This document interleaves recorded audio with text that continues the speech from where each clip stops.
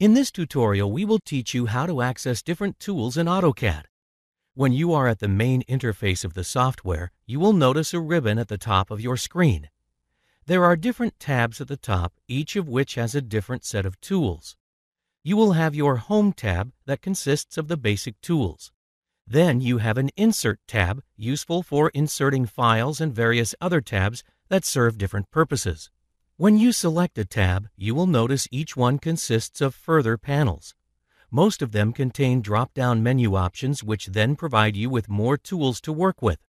For example, the Draw panel consists of basic drawing tools that are visible when you click on the drop-down arrow. When you do so, you get access to more tools. However, if you draw your cursor away, the menu goes back up. If you want the menu to stay, then click on the Pin option at the bottom and this menu will stay open.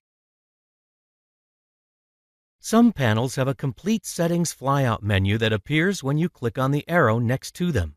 For example, when you click on the arrow on the Properties panel, a separate settings menu appears where you can make adjustments. The drop-down menu on the top allows you to switch between options to draw shapes of different dimensions.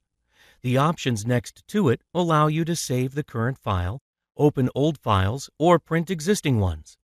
Furthermore, there are several options present on the bottom of your interface which serve various purposes.